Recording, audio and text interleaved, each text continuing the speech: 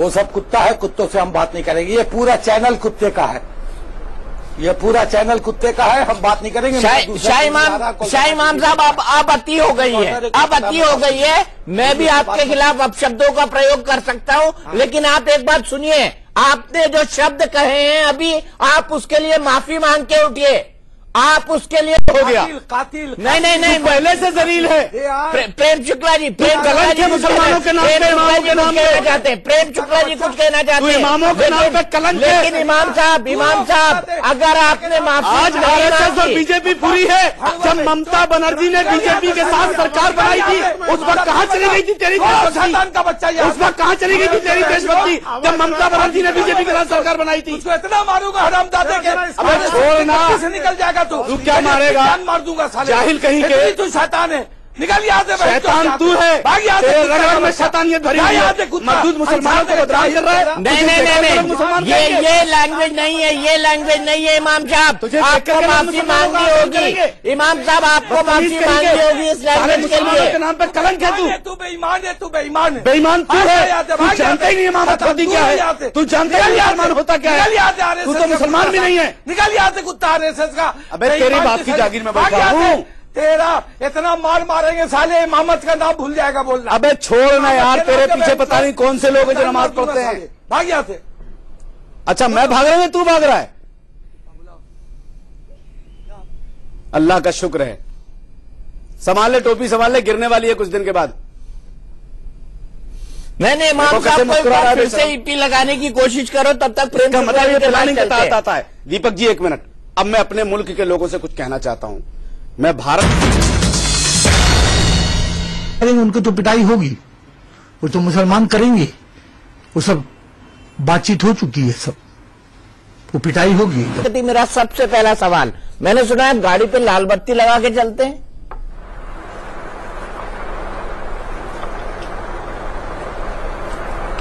आपने सुना है? या देखा भी है? नहीं नहीं मैंने मैं तो सुन सकता हूँ। खाली मैं दिल्ली में बैठा हुआ हूँ। कोलकाता में नहीं। सुना ये कहा यह जाता है कि लेफ़्ट पार्टी की सरकार थी तब भी आप लाल बत्ती लेकर चलते थे। अब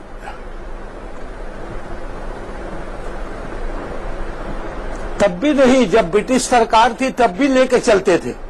तब भी लेके चलते थे। यानी ब्रिटिश सरकार भारतीय कानूनों का उल्लंघन करना आपका शौक रहा है। तो लाल बत्ती से तो लाल बत, लाल बत्ती से तकलीफ़। नहीं नहीं नहीं आप नहीं नहीं आप सुनिए। नहीं नहीं कोई शौक नहीं आप अपनी तरफ़ से कुछ मत लगाइए। आप बहुत भारतीय हैं तो हम भी भारतीय हैं। कोई उल्लंघन नहीं है। नहीं नहीं मैं आपके भारतीय होने पर कोई शक नहीं कर रहा। हूँ कानूनी लेकिन मैं कह रहा हूँ कि आप ऐसे भारतीय हैं जो कानूनों के उल्लंघन पर विश्वास रखते हैं। आप शक भी नहीं कर सकेंगे। आपकी शक आपको अच्छा माशाअल्लाह और आप लोग आप अपना बारे अपने बारे में बताइए। क्या बताऊँ अपने बारे में? भाई खुला खेल फर्रुखाबादी है। आप कैसे हैं? खुला खेल फरुखाबादी है। अपने बारे में बताइए कुछ। नहीं नहीं मैं क्या बताऊँ? मेरा खेल तो खुला खेल फरुखाबादी है। इंटरनेट पे दीपक चौरसिया सर्च कर लीजिए आप।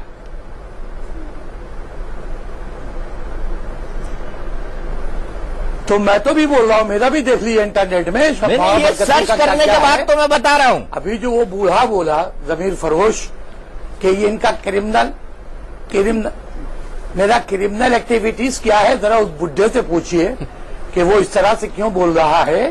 भाई चौरसिया साहब, आप हमको नहीं, हम तो फ्रीडम फाइटर हैं।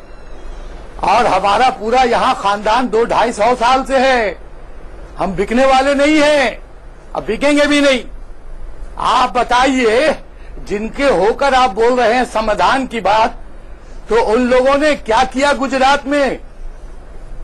क्या हुआ वो संविधान चलिए मैं आपका थोड़ा सा इंट्रोडक्शन दे दूँ खानदान बरकती साहब मैं थोड़ा सा? इंट्रोडक्शन दे दूँ उसके बाद तीन तलाक और पर आता हूँ एक मिनट एक मिनट मैं थोड़ा सा इंट्रोडक्शन दे दूँ आपका थोड़ा सा इंट्रोडक्शन नहीं मैं कौन है मौलाना बरकती? सुन लीजिए आप। कौन है मौलाना बरकती? दे दूँ मैं आपको थोड़ा सा इंट्रोडक्शन दे देता हूँ कौन है मौलाना बरकती टीपू सुल्तान मस्जिद के शाही इमाम है और टीएमसी पार्टी के मुख्य संरक्षक। आप आप क्या आप हाँ, टीएमसी पार्टी के मुख्य संरक्षक हैं? आप कौन है? आप तो आरएसएस के हैं। नहीं नहीं मैं बिल्कुल हूँ। मेरी बात स्वतंत्र पत्रकार हूँ। मोदी के हैं। आरएसएस के?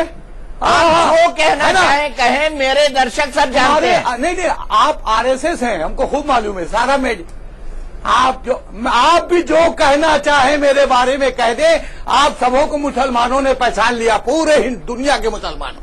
किस तरह से आप बिके हैं आप लोग ये पूरी दुनिया पहचान ली है। चलिए मेरे साथ एवीएम के मेरे साथ यासिर हैं। यासिर आरएसएस से जुड़े हुए हैं। मेरा मौलाना बरकती साहब बरकती साहब, शादी कर रहे हैं। बड़े माजरत जो है वो से जुड़े हुए चाहता हैं। आपसे।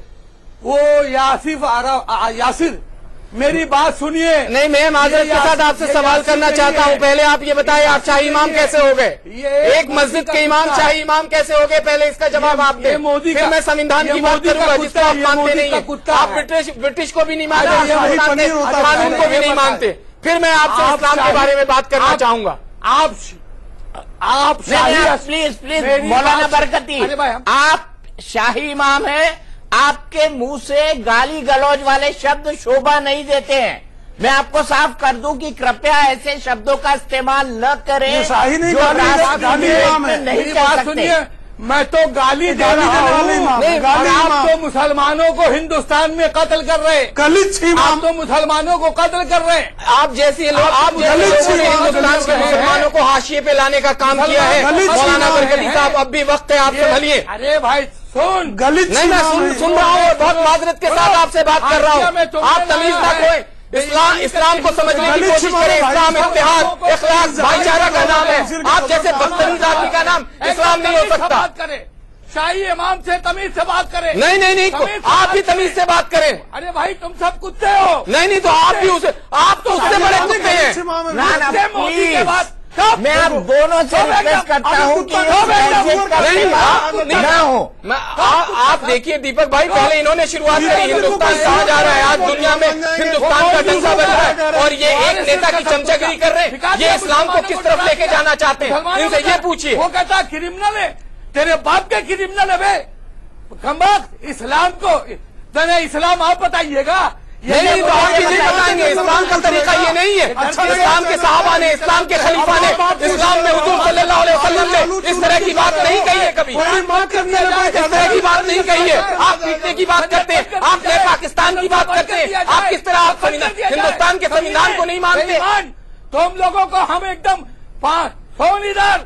इस आप बेफिक्र रहिए मौलाना साहब मैं बंगाल आ रहा हूँ आप मुझे आप मुझे धमकी ना दे और बंगाल में आपके खिलाफ आगे हम लोग काम करेंगे। ये आप ध्यान रखिएगा। मैं आपको आप जनाब करके आपको इज़्ज़त के साथ बात कर रहा हूँ आप बड़े हैं। लेकिन आप बिल्कुल बिल्कुल आप जो शो कर रहे हैं उससे इस्लाम को आप नीचे ले जाने का काम कर रहे हैं। मुसलमान है। ये मुसलमान तबाह बर्बाद कर रहा है। इमाम साहब थोड़ा सांस भी ले लीजिए। थोड़ा सा एक गिलास पानी पिलाइए। इमाम साहब को प्रेशर हो रहा है इनका। आप बताइए मस्जिद में उनके बगल में कोई हो उनको पानी पिलाए। मौलाना अंसार रजा साहब मौलाना अंसार रजा साहब जिस भाषा का इमाम साहब उपयोग कर रहे हैं क्या बात इस तरह के ज़ाहिर आदमी को इमाम किसने बनाया? अब अब मैं बोलना चाह रहा हूँ मैं उनसे मौलाना साहब से गुजारिश करूँगा। अरे भाई अब सुन तो- लीजिए। हज़रत। हज़रत, प्लीज़, हज़रत। मौलाना साहब कह रहा हूँ इस जाहिल को आपकी इमामत को भी सामने में खड़ा करना पड़ेगा भैया। ये जाहिल को आप इमाम मान रहे हैं? अरे मौलाना सुन तो लीजिए। जाहिल इमाम है। मौलाना अंसार रजा बहादुर बाबुला ईसा आपसे सवाल है इस तरह के टीवी पे गालियाँ देने वाला जाहिल के अब तो मैं कुछ बोला ही नहीं। इसको इमामत का इमामत की परमिशन है क्या? ये भी अब मेरी बात सुनिए। मौलाना साहब आपसे सवाल है मेरा। मैं जवाब देता हूँ। अंसार रजा साहब बताओ इनको इमामत का अधिकार है क्या? मैं जवाब देता हूँ। मैं जवाब देता हूँ। अब इनकी आवाज़ थोड़ा सा स्लो कर। भाई इंसान मंजर अबे ये बता कौन करेगा इमामत? हाँ सही है। हाँ हाँ चल चल ठीक भाई तू कर ले। ठीक है आपके पास आऊँगा। मौलाना अंसार रजा का जवाब सुन लेते अब हैं। सुन लीजिए। सुन लीजिए देखिए जिस तरह की लैंग्वेज ये इस्तेमाल कर रहे हैं कतई इस्लाम इस चीज़ की इजाज़त नहीं देता है। खामोश खामोश क्रिमिनल बोलता है इमाम को बेईमान क्रिमिनल तू है, तुझसे बात डाकू कोई नहीं है। कलकत्ते में बे। मैं तो उससे बड़ा डाकू कोई नहीं है कलकत्ते में। हँसी आ रही है। साले पाकिस्तान की हमदर्दी करता है। दूसरा पाकिस्तान बचा बचा बनाना चाह रहा है। बेहुदा कहीं के। अपने आप को इमाम कह रहा है। एक रकत नमाज़ तेरे पीछे पढ़ना हराम है। लैंग्वेज संभालिए प्लीज़ एक रकत तेरे पीछे पढ़ना हराम है। तू इमाम अपने आप को कह रहा है। तू इतना बड़ा शरीफ है। एक औरत की उंगली पे नाच रहा शर्म नहीं आ रही है और तू इमाम अपने आप को कह रहा है न शक्ल से मुसलमान लगता है न जबान से मुसलमान लगता है न लिबास से मुसलमान लगता है न बातचीत से मुसलमान लगता है। और दूसरा इमाम अपने आप को कह रहा है बेईमान कहीं का तुम लोगों से संविधान तुम नाच रहे हो हो पे। करेगा तुम। तुम नाच रहे हो औरत की उंगली पे। मुसलमान तुझको बयानबाजी। तुम कर रहे हो मारकाट समझते हैं। अबे आरएसएस से कौन जुड़ रहा है? बीजेपी से गुजरात में कत्ल है? करने वाला हराम है क्या? बेईमान कहीं का बेहद बेईमान मांग रहा तू आज तुझको खाता है। बेईमान कहीं का सत्तार हो तुम। यहाँ लाया मुल्लाओं को ज़मीन फरोश मुल्लाओं को। और ये हम भी अब अबे यहाँ आके देख। यहाँ सब देख हुआ है हमारा। ब्याज कौन खाता नहीं सब खाता? कुछ है। देखा हुआ है। अपने खाता ब्याज सब कुछ देखा हुआ है हमारा। शाही इमाम हमें शाही इमाम गोरी की। औकात नहीं है तेरी कलकत्ते में। तू शाही इमाम कह रहा अपने आप को तू इस मुल्क को बांटने की बात करता है। तेरे जैसे एक लाख इमाम पैदा हो जाए तो भारत के अब टुकड़े नहीं होने दिए जाएँगे। एक लाख इमाम तेरे जैसे पैदा हो जाए। तो भारत को नहीं बटने दिया जाएगा। लाख ज़मीन और मैं भारत सरकार से कहूँगा कि इस मरदूत के खिलाफ देशद्रोह का मुकदमा कायम करके इसको जेल में डाला जाए। ये मुल्क बंटवा देगा ये। एक औरत मौलाना। बरकती मौलाना बरकती मौलाना बरकती मौलाना बरकती। आप मौलाना। बरकती। सुनिए सुनिए मेरी बात। सुनिए। नॉन स्टॉप मत बोलिए। दूसरे लोग भी बोलने के लिए। प्रेम शुक्ला जी प्रेम शुक्ला जी मैं तो सिर्फ़ लैंग्वेज पर बात कर रहा हूँ। क्या ये लैंग्वेज मैं तुम्हारी तरफ़ हूँ सकती है क्या हूँ। एक मिनट। प्रेम शुक्ला जी प्रेम शुक्ला जी। इसको इतना मार मारो कि ये भाग जाए। तू आ मेरे पास में यार प्रेम शुक्ला जी आपकी सरकार कर क्या रही है? गलत बात। आपकी सरकार कर क्या रही है? इसके खिलाफ देशद्रोह का मुकदमा करके इसको जेल में क्यों नहीं डाला जाता? क्या समझौता किया आपने इसके ताल्लुक से मायावती से? क्या समझौता किया आप लोगों ने? आरएसएस जो इतना जहर उगलने के बाद ये टीवी चैनलों पे बोल रहा है। तू। तेरी जबान है। तू खबरदार नहीं बैठेगा। वरना तुझको बहुत मार मारूँगा। कुत्ता है तू कुत्ता कुत्ता कुत्ता कुत्ता कुत्ता। आरएसएस का कुत्ता। बरकती साहब हाथ जोड़ता हूँ इस लैंग्वेज का इस्तेमाल कितना बड़ा न करें। हाथ जोड़ता हूँ आप लैंग्वेज का इस्तेमाल न करें। आप किसी लैंग्वेज तू क्या बोल रही हो। आपको कह रहा हूँ कि सियासत हमारे ये लैंग्वेज हमारे पैगंबर ने कहा है कि किसी का दिल तोड़ने वाली बात मत करो। हमारे पैगंबर ने कहा। आप सोचिए मैं अबे तुमने ने कहा कि मार दीजिए? मुसलमान को कत्ल कर दिए ये समझा रहा पैगंबर का। पैगंबर को मारा दिया नहीं क्या बोलता। आप इस्लाम की होली बेटे नहीं जानते। जंग नहीं होता था चौदह साल पहले। इस्लाम के अंदर ही इस्लाम के लोगों के बीच जब इस्लाम की शुरुआत हुई सब जानता आप है। किस तरह की बात हैं? आप डिबेट किताब देख, जा रहे हैं। ये किताब देख। आप किताब ये किताब देख। ये देखिए ये किताब लेके आए आपके पूरा- आपका पूरा ये किताब देख, ये किताब आप देख। जो आप जो किताब। बंगाल के अंदर ये सारी किताब हकीकत उसमें है। लिखा हुआ है। हिंदुस्तान को तोड़ना चाहते हैं टूटेगा नहीं। तीन तलाक है, ये समझ लें। आपको इस्लाम तलाक के बारे में हम जिस तुम्हारा इस्लाम के बारे में हिंदुस्तान जारी किया है। मोदी हिंदुस्तान। तोड़ रहा है। आप- आप खुलता है। बताएँ। तुझसे क्या बात करे बे? नहीं आप आप तलाक देगा सही से अच्छा बे- आ- आप इतना नाराज़ है थोड़ा पानी पीजिए, पानी पीने के बाद जवाब दीजिए अब आप। बोलो ना गुजरात के बेवाओं का गुजरात की बेवाओं का क्या होगा हाय हाय हाय हाय हाय अरे आप कीजिए हमको लौंगे वाले आप किस तरफ़ जा रहे हैं कहाँ हिंदुस्तान को तो हैं? लग रहा है। आप बताइए आप इस्लाम की क्या क्या व्याख्या कर रहे हैं आप बैठ ठिकाने पे नहीं है इसका दिमाग। आप किस तरह की बात कर रहे हैं कुत्ता है उसकी हैसियत कुछ नहीं है। नहीं नहीं गरीब नवाज़ के नहीं, नाम पर इस पर है। गरीब नवाज़ के नाम मैं पर मैं बहुत अफसोस ज़ाहिर करता हूँ और इस भाषा को कंडेम करता हूँ। किसी भी नेशनल न्यूज़ चैनल में ऐसी भाषा का इस्तेमाल नहीं होना चाहिए। मैं आपको आगाह कर रहा हूँ वरना मुझे आपको डिबेट से हटाना पड़ेगा। हटाना नहीं पड़ेगा अगर आप इसको नहीं हटाएँगे तो हम उड़ जाएँगे। हमको मत सिखाओ। इमाम साहब मैं फिर बोल रहा हूँ आपको मुझे आपको? डिबेट से हटाना पड़ेगा। आप इसको नहीं हटाएँगे तो हम हट जाएँगे दीपक जी। बहुत सा भाग जाता है। भाग जा अंसार मंजर। खबरदार मैं हट जाऊँगा तुमसे पहले। तो हट जाना। से मैं तेरी शक्ल भी नहीं देखना चाह रहा। से बात नहीं करूँगा जो आरएसएस के कुत्ते हैं। वो अंसार आरएसएस का कुत्ता है बे कुत्ता अबे कुत्ता तेरी शक्ल मैं नहीं देखना चाहता।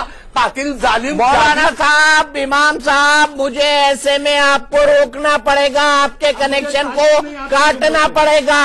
मैं आपको चेतावनी दे रहा हूँ अब कि ऐसी भाषा का इस्तेमाल न करें आपके मुँह से शोभा नहीं देती है।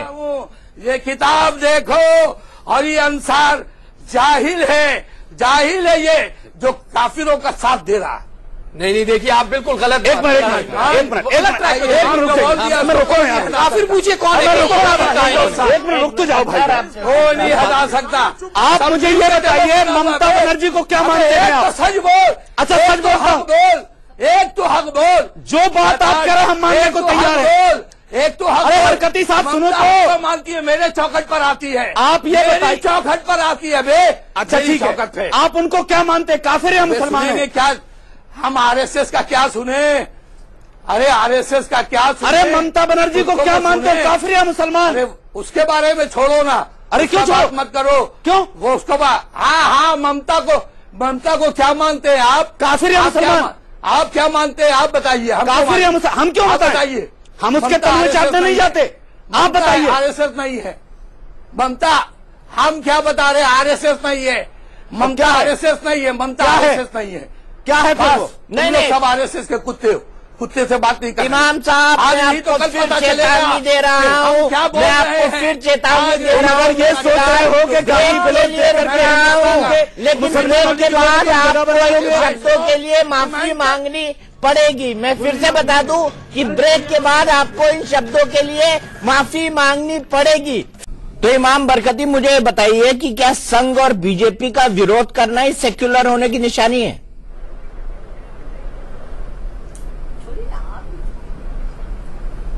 बिल्कुल। तो है जो साफ़ साफ़ कह रहे हैं कुछ नहीं। जो बैठा है यहाँ वो सब कुत्ता है कुत्तों से हम बात नहीं करेंगे। ये पूरा चैनल कुत्ते का है। ये पूरा चैनल कुत्ते का है हम बात नहीं करेंगे। शाह इमाम शाह इमाम साहब आप अब अति हो गई है। अब अति हो गई है। मैं भी आपके खिलाफ अपशब्दों का प्रयोग कर सकता हूँ। लेकिन आप एक बात सुनिए। आपने जो शब्द कहे हैं अभी आप उसके लिए माफ़ी मांग के उठिए। आप उसके लिए हो गया। कातिल कातिल नहीं नहीं नहीं पहले से जलील है। प्रे, प्रेम शुक्ला जी प्रेम शुक्ला जी मुसलमानों के नाम पे, इमामों के नाम कहना चाहते हैं। प्रेम शुक्ला जी कुछ कहना चाहते हैं। इमामों के नाम पे कलंक लेकिन इमाम साहब इमाम साहब अगर आपने माफ़ी आज आरएसएस और बीजेपी पूरी है। जब ममता बनर्जी ने बीजेपी के साथ सरकार बनाई थी उस वक्त कहाँ चली गई थी तेरी देशभक्ति? का बच्चा उस वक्त कहाँ चली गई थी तेरी देशभक्ति? जब ममता बनर्जी ने बीजेपी के साथ सरकार बनाई थी। इतना मारूँगा हराम दादे के निकल जाएगा तू तू क्या मारेगा? जान मार दूँगा साले जाहिल कहीं के। तू शैतान है निकल यहाँ से शैतान तू है। भाग यहाँ से तेरे कुत्ता रग का रग में शैतानियत भरी हुई है। कुत्ता। मुसलमानों को बदनाम कर रहा है। नहीं नहीं नहीं मुसलमान ये ये लैंग्वेज नहीं है ये लैंग्वेज नहीं है इमाम साहब। आपको माफ़ी मांगनी होगी। इमाम साहब आपको माफ़ी मांगनी होगी इस लैंग्वेज के लिए। नाम पे कलंक है तू। बेईमान तू बेईमान है तू बेईमान है। बेईमान तू है। तू जानता ही नहीं होती तू क्या है। तू जानता ही मुसलमान होता क्या है। तू तो मुसलमान भी नहीं है। निकल यहाँ से कुत्ता आरएसएस का। अबे तेरी बाप की जागीर में भाग बैठा हूँ। तेरा इतना मार मारेंगे साले इमामत का नाम भूल जाएगा बोलना। अबे छोड़ ना यार तेरे पीछे पता नहीं कौन से लोग हैं जो नमाज़ पढ़ते हैं। भाग यहाँ से। अच्छा मैं भाग रहा हूँ तू भाग रहा है? अल्लाह का शुक्र है। संभाल ले टोपी संभाल ले गिरने वाली है कुछ दिन के बाद। मैंने इमाम साहब को है फिर से ईपी लगाने की कोशिश करो तब तक प्रेम शुक्ला मतलब ये प्लानिंग के। आता है। दीपक जी एक मिनट। अब मैं अपने मुल्क के लोगों से कुछ कहना चाहता हूँ। मैं भारत के लोगों से इतनी गुजारिश करना चाहता हूँ, इस बदतमीज ने जो लैंग्वेज इस्तेमाल की है, हम उसके लिए पूरे मुल्क से माफ़ी मांगते हैं। ना तो हमारे इमाम की शान ये है, ना हमारे एक मुसलमान की शान ये है, और ना इस्लामी तमाम चीज़ों की इजाज़त देता है। हमारे पैगंबर ने कहा है कोई ऐसा काम मत करो कि जिससे किसी मोमिन किसी आदमी का दिल टूट जाए। हमारे पैगंबर ने एक ही बात कही है कि किसी का दिल मत तोड़ो कोई ऐसे जुमले मत बोलो कि जिससे तुम्हारे पड़ोसी को तकलीफ़ हो या तुम्हारे या किसी मोमिन भाई का दिल टूटे या किसी का भी दिल टूटे चाहे वो मुसलमान हो का। किसी के भी दिल तोड़ने की हमारे पैगंबर ने कोई इजाज़त नहीं दी ना इस्लाम इस तरह की कोई लैंग्वेज इस्तेमाल करता। इमाम बरकती साहब को एक बार फिर से जोड़ने की कोशिश करें क्योंकि उन्होंने अभी तक माफ़ी नहीं मांगी है। प्रेम शुक्ला जी आपने ये पूरा का पूरा ड्रामा अनफोल्ड होते हुए देखा, क्या आपको लगता है कि संघ और बीजेपी का विरोध करना ही असली सेक्युलरवाद है?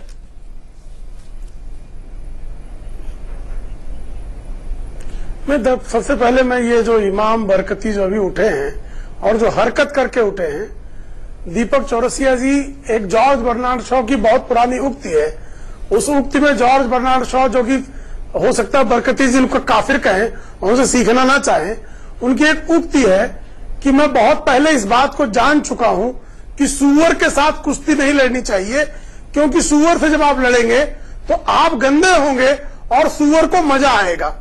मैं उनको किसी तरह का प्राणी से कंपेयर नहीं कर रहा हूँ। सिर्फ़ जॉर्ज बर्नार्ड शॉ की एक उक्ति जो है, उद्धृत कर रहा हूँ। इस चैनल पर बैठकर उन्होंने ब्रेक के दौरान भी बेलगाम गालियाँ दी। उनकी गालियाँ बंद नहीं हुई और ऐसे व्यक्ति को चैनल पर बुलाकर, मुझे लगता लगता मौलाना अंसार रजा जो है, आज बहुत पीड़ित हुए होंगे कि एक ऐसा प्राणी जिसको छूना भी हराम है, उस प्राणी की तरह जो है, एक व्यक्ति इनके शरीर पर लौट गया। और मुझे लगता है कि मौलाना यूसुफ अब्बास जी भी यहाँ बैठे हैं। मौलाना साहब, दोनों हमारे इनके वैचारिक मतभेद होते हैं सारे मौलानाओं से। लेकिन किसी के प्रति इस तरह के शब्दों का प्रयोग कहीं भी मान्य नहीं है और मैं एक ही सवाल करना चाहूँगा दोनों ने इमामों से कि पैगंबर मोहम्मद साहब का जो इस्लाम है कोई भी अहले कुरान अहले हदीस इस तरह की हरकत करने वाले किसी भी इमाम को क्या दंड मुकर्र करेगा? कृपया ये हम लोग को बता दें। यासूब अब्बास साहब जवाब आपका। देखिए दीपक जी इस्लाम में सबसे पहले अखलाक है। और अगर से अखलाक नहीं है तो कुछ नहीं है। इस्लाम ने सबसे पहले यह तालीम दी है कि तुम सबसे पहले इंसान बन जाओ। इस्लाम मुसलमान बनाने नहीं आया है। इस्लाम इंसान बनाने आया है। मगर दीपक जी, मैंने आपके बहुत शो किए हैं। आज मुझे सख्त तकलीफ़ हुई है आपके शो में आके। अगर मुझको अपने शो का हिस्सा न बनाते तो मुझे बहुत बेहतर था। क्योंकि मैं हिंदुस्तान की एक रिस्पेक्टेड फैमिली से बिलोंग करता हूँ। मैं ऐसे शो का हिस्सा नहीं बनना चाहता हूँ, जहाँ के ऊपर गालियाँ बकी जा रही हो। जिस चीज़ का ओपन मामला है, हम लोग ट्रिपल तलाक के खिलाफ हैं।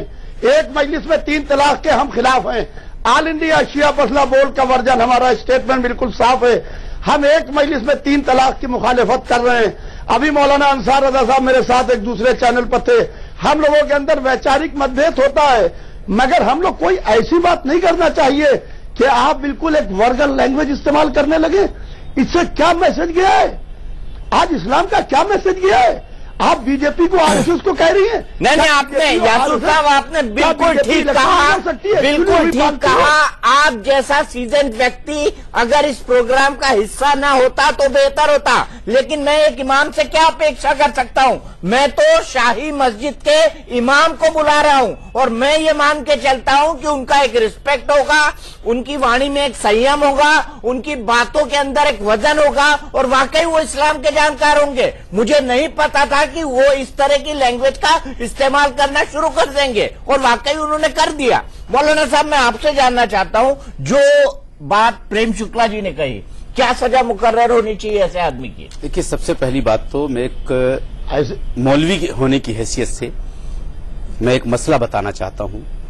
जो शख्स एहतराम किसी का न करे हर वक्त उसकी जबान पे गाली गलौज हो। ऐसे इमाम के पीछे पहली बात तो नमाज़ पढ़ना हराम है। उसके पीछे नमाज़ हो ही नहीं सकती है। जो लोग उसके पीछे नमाज़ पढ़ रहे हैं लोगों को समझना चाहिए और मसला मालूम करना चाहिए। दूसरा बार बार आप लोग कहते हो बरकती ने कोई फतवा जारी कर दिया।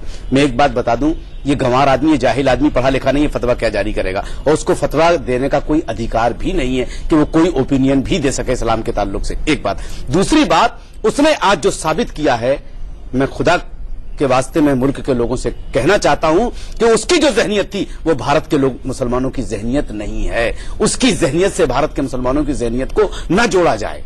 मैं इतनी गुजारिश करना चाहता हूँ आपके चैनल के माध्यम से, आपके व्यूअर को, उसके दिमाग में कोई चीज़ ऐसी न चली जाए। अब मैं आपके चैनल के माध्यम से ममता बनर्जी से एक गुजारिश करना चाहता हूँ मैं कि खुदा के वास्ते इन जैसे मुल्क के गद्दारों को, मुसलमानों का लीडर मत बनाइए आप। और आपकी ज़िम्मेदारी बनती है। अगर आप तक ये हमारी बात पहुँच रही है। तो एक सेकंड से पहले अपने आप से उसको अलग करने का कोई फरमान जारी कीजिए उस मस्जिद से उसको हटाइए और अगर आप नहीं हटाएँगी तो अगले बार आप देख लीजिएगा कि कलकत्ते में आपका क्या हश्र होता है। चलिए ये राजनीतिक बात हो गई मैं इस राजनीतिक बहस में नहीं जाना राजनीति नहीं है ये। राजनीति नहीं ममता बनर्जी चाहती है कि कोई ऐसा जहरीला मुसलमान हम अपने पास रखें जिससे मुसलमान कंट्रोल में हमारे रहे। जैसे आप भाई अंसार मेरा- मेरा सिर्फ़ ये मानना है कि संगठन की इसमें- बैठक करके मौलाना बरकती को बाकायदा इमामत के पद से हटाया जाए। बिल्कुल। बिल्कुल, बिल्कुल। बिल्कुल हटाया जाए मीटिंग बुलाइए आपकी ऑल इंडिया इमाम संगठन है। बिल्कुल हम बुलाते हैं। मीटिंग। बुला के उसको हटाइए वहाँ बिल्कुल हम बुलाते हैं। और हम इनशाला तीन चार दिन के अंदर अंदर इसी चैनल पे आकर के उसके खिलाफ हम फतवा ला करके दिखाएँगे और मोतबर जरा मतलब मोतबर संगठन से फतवा जारी किया जाएगा कि उसके खिलाफ क्या होना कानून कार्रवाई होनी चाहिए। मुझे लगता है देखिए इनका सोशल बाइकाट करना चाहिए। जिस तरह से आ, समाज के अंदर एक तरह से उन्होंने फूट डालने की कोशिश करी है और बार बार ये कहते हैं कि संघ और भाजपा से जुड़े हुए मुसलमानों को वो पीटेंगे। तो वो बिल्कुल उनका कहीं कहीं ना कहीं दिमागी तोजुन जो है, जो उनका संतुलन दिमागी संतुलन है, वो कहीं ना कहीं सही जगह पे नहीं। है वो इतना बौखलाए हुए हैं क्योंकि उन्हें लगता है कि अब जो कॉमन मुसलमान है, युवा मुसलमान है, वो उनके खिलाफ है। और जिस तरह से मानिए हमारे प्रेम शुक्ला जी ने कहा कि जिस तरह के अल्फाज यूज़ किए, वो बिल्कुल उनके लिए दुरुस्त अ, उनके लिए बैठता है क्योंकि अब मुसलमान कैल, कैलकाटा के अंदर को वहाँ भी इनके खिलाफ है। हम लोगों ने अभी पीछे भी मेरा जाना हुआ था कैलकाटा में। इनके आसपास के लोग आप यकीन करें दीपक जी की बिल्कुल खिलाफ है इनकी उलूल जुलूल हरकतों। इन्होंने ही कहा था ओसामा जैसे आतंकवादी के लिए इन्होंने वहाँ पे दुआ कराई थी। उस वक्त से मुसलमानों के बीच में एक चिंगारी फैल रही और हर वो काम ये करते हैं जो संविधान के खिलाफ है। ये बर्दाश्त नहीं किया जाएगा हिंदुस्तान के अंदर और हम लोग तो इनके खिलाफ लोगों को एजुकेट करके इकट्ठा करने की कोशिश कर रहे हैं कि वो खुद हाशिए पे चले जाए। और वो हाशिए पे आज हमको आज हमको एक अलग तस्वीर देखने को मिली। आज हमको देखने को मिला कि बनारस के एक मंदिर के अंदर मुस्लिम बहनें जो हैं वो हनुमान चालीसा पढ़ रही हैं कि संकट मोचक हनुमान आइए हमें बचाइए तीन तलाक के इस फंदे से। ये क्या है? ये सब ये सब ड्रामा है। ये सब उसको छोड़ दीजिए। वो हम उस चीज़ से नहीं मानते। तीन तलाक का मुद्दा माननीय सुप्रीम कोर्ट में है। कल से बाकायदा तौर पर सुनवाई होने वाली है। जो माननीय कोर्ट का फैसला आएगा उसे हम तस्लीम करेंगे। लेकिन- और जहाँ तक सवाल वहाँ जाने का यहाँ कहे- जाने का है। हमारे देश के प्रधानमंत्री ने अभी पिछले हफ़्ते कर्नाटक में जो बयान दिया है, हमें उस पर भी गौर करना चाहिए। और प्राइम मिनिस्टर ने जो चुनाव से पहले महोबा में बयान दिया था, उस पर भी हमको गौर करना चाहिए। जहाँ तक तीन तलाक का मसला है, फैसला जो भी कोर्ट का आएगा, वो सर आँखों पर हिंदुस्तान का हर मुसलमान उसे तस्लीम करेगा। मैं बरकती जैसे लोगों की बात नहीं करता, जो हिंदुस्तान का सच्चा मुसलमान है, वो माननीय सुप्रीम कोर्ट की बात को तस्लीम करेगा। लेकिन ट्रिपल तलाक जैसा मेरा सिर्फ़ ये कहना है कि देखिए, कुरान में कहीं भी नहीं इस चीज़ को हम क्यों नहीं मानने को तैयार चूँकि नहीं नहीं मौलाना। मौलाना साहब देखिए हम क्यों नहीं मानने को तैयार हैं कि मतलब आप आप कहीं ना भी एक, देखिए आप ना मानिए, तलाक कोई के अंदर। सूरह बकरा के अंदर आप आप तो मौलवी हैं आप जानकार है। आप बताएँ कि कहीं भी अब वो बहस आप करेंगे। नहीं नहीं, नहीं, नहीं, आप- आपको मेरा जवाब देना होगा मैं जवाब आपको तो दे रहा आप फिर हूँ कुरान में लिखा है अकीम सलात नमाज़ कायम करो आप तो- बताइए कैसे पढ़ेंगे नमाज़ नहीं नहीं नमाज़ की बात यहाँ ट्रिपल तलाक की बात हो रही है आप उसी कुरान की कि तो बात कैसे करें। नमाज़ उसी कुरान में तलाक का ज़िक्र है ना। उसी तलाक नहीं कह रहा हूँ। मैं मैं आप मैं दोनों को रोकूँगा। मैं प्रेम शुक्ला जी के पास चलता हूँ क्योंकि प्रेम शुक्ला जी ने जी जी भी जितनी पढ़ाई लिखाई करते हैं शायद ही कोई करता हो और शायद ही इस्लाम के बारे में भी उनको बड़ा अच्छा ज्ञान है। सवाल ये उठता है प्रेम शुक्ला जी कि जो बात यासिर कह रहे हैं कि कुरान में कहा लिखा हुआ है ट्रिपल तलाक एग्जिस्ट करता है आपके हिसाब से क्या लिखा हुआ है कुरान के अंदर? ये प्रेम शुक्ला जी से थोड़ी हम कुरान समझेंगे भाई। नहीं कुरान शरीफ बहुत साफ़ तौर पर कहती है तीन तीन नहीं नहीं भाई साहब आप बिल्कुल ना समझिए आप बरकती समझ सकते हैं। मुझे कोई आपत्ति नहीं है। आप बरकती से कुरान शरीफ समझ सकते हैं। उसको नहीं, उससे भी मैं इस्लाम का विद्यार्थी हूँ। लेकिन आपको तो मेरी जो समझ है वो बोलने का मुझे अधिकार आप देंगे। आप बरकती बरकती की गालियाँ सुनेंगे। बरकती गालियाँ मौलाना साहब सुन लेंगे। मेरी भी बात थोड़ी सी सुन लेंगे तो कोई अपराध नहीं हम दोनों को देखेंगे तो- दिया है तो वो। क- कतई नहीं होगा आप भी अछूते नहीं है। नहीं नहीं नहीं इस्लाम इस्लाम में इस्लाम सबसे इस्लाम सबसे आधुनिक मुझे लगता है इस्लाम जो है सबसे आधुनिक मज़हब है। सबसे आठवीं सदी में आया है और कुरान शरीफ में तीन तलाक का ज़िक्र में तीनों तलाकों के बीच अच्छा खासा अंतर उसकी विधि बताई गई है उसमें निगोशिएशन आर्बिट्रेशन की बातें रखी गई हैं।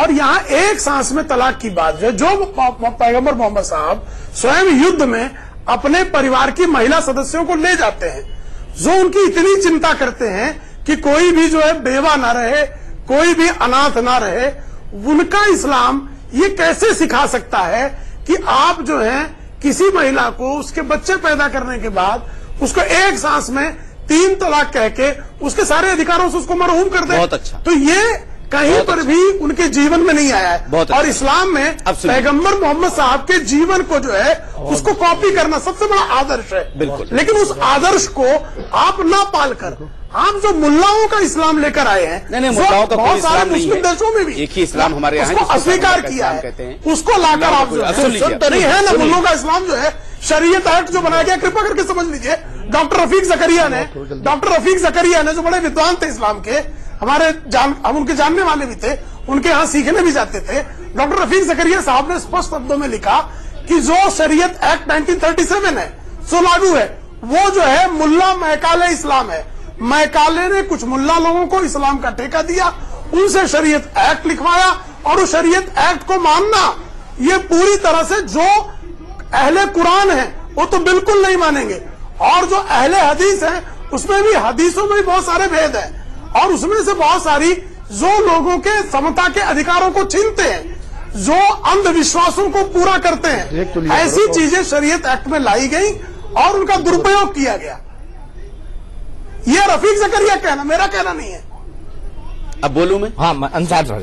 देखिए आपने जो बात रफीक जकरिया की की है उन्होंने क्या लिखा क्या नहीं लिखा हमें उससे मतलब नहीं। हम एक बात कहना चाहते हैं प्रेम शुक्ला जी कि अगर शरीयत को आप खाली कुरान से समझेंगे कभी समझ में नहीं आएगी आपको। इस्लाम को अगर खाली आप कुरान से समझेंगे कभी समझ में नहीं आएगा। आपको पहले कुरान समझना पड़ेगा कुरान जो नहीं समझ में आए तो आपको प्रॉफिट की ज़िंदगी देखना पड़ेगी उनके कौल देखना पड़ेंगे उनका चलना फिरना खाना पीना देखना पड़ेगा। वही इस्लाम है। अब मैं एक बात कहना चाहता हूँ। हमारे हिंदुस्तान में कानून है। एक मिनट। हमारे हिंदुस्तान में एक कानून है कि आप जब रोड पे चलेंगे तो आपको लेफ़्ट साइड में चलना है। उधर से आने वाला राइट, उसका वो लेफ़्ट कहलाएगा। अब एक आदमी अगर हिंदुस्तान के कानून के हिसाब से लेफ़्ट न चल के वो राइट जाए तो वो रोंग जा रहा है। मानेंगे आप इस चीज़ को कि नहीं? वो रोंग जा रहा है ना? अगर वो राइट साइड जा रहा है तो। आप कानून को गलत कहेंगे या चलने वाले को गलत कहेंगे? किसको आप गलत मानेंगे?